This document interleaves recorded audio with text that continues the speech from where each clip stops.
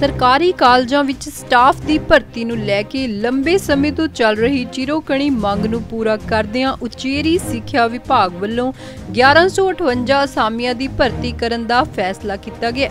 ਇਹ ਭਰਤੀ ਪੰਜਾਬੀ ਯੂਨੀਵਰਸਿਟੀ ਪਟਿਆਲਾ ਤੇ ਗੁਰੂ ਨਾਨਕ ਦੇਵ ਯੂਨੀਵਰਸਿਟੀ ਅੰਮ੍ਰਿਤਸਰ ਵੱਲੋਂ ਚੋਣ ਕਮੇਟੀਆਂ ਬਣਾ ਕੇ ਕੀਤੀ ਜਾਵੇਗੀ।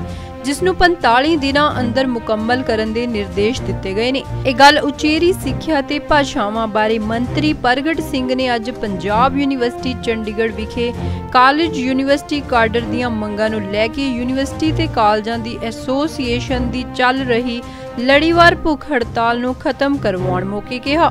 ਪ੍ਰਗਟ ਸਿੰਘ ਨੇ ਆਖਿਆ ਕਿ ਸੂਬੇ ਦੀ ਨੌਜਵਾਨਾਂ ਨੂੰ ਸਹੀ ਸੇਧ ਦੇਣ ਅਤੇ ਸੂਬੇ ਦੇ ਸੁਨਹਿਰੀ ਭਵਿੱਖ ਵਾਸਤੇ ਉੱਚ ਸਿੱਖਿਆ ਨੂੰ ਵਿਸ਼ੇਸ਼ ਤਰਜੀਹ ਦਿੱਤੀ ਜਾਵੇਗੀ।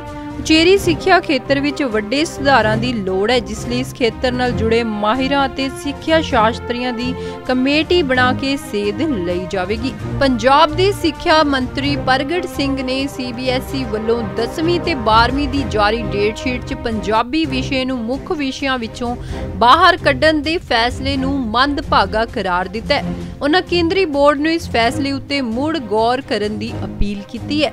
ਇੱਕ ਜਾਰੀ ਪ੍ਰੈਸ ਬਿਆਨ ਵਿੱਚ ਪ੍ਰਗਟ ਸਿੰਘ ਨੇ ਸੀਬੀਐਸਈ ਵੱਲੋਂ ਸਾਰੀਆਂ ਖੇਤਰੀ ਭਾਸ਼ਾਵਾਂ ਨੂੰ ਮਾਈਨਰ ਵਿਸ਼ਿਆਂ 'ਚ ਸ਼ਾਮਲ ਕਰਨ ਦੇ ਇਸ ਫੈਸਲੇ ਨੂੰ ਦੇਸ਼ ਭਰ ਦੇ ਵਿਦਿਆਰਥੀਆਂ ਨੂੰ ਆਪਣੀ ਮਾਤ ਭਾਸ਼ਾ ਤੋਂ ਦੂਰ ਕਰਨ ਦੀ ਇੱਕ ਸਾਜ਼ਿਸ਼ ਕਰਾਰ ਦਿੱਤਾ ਹੈ।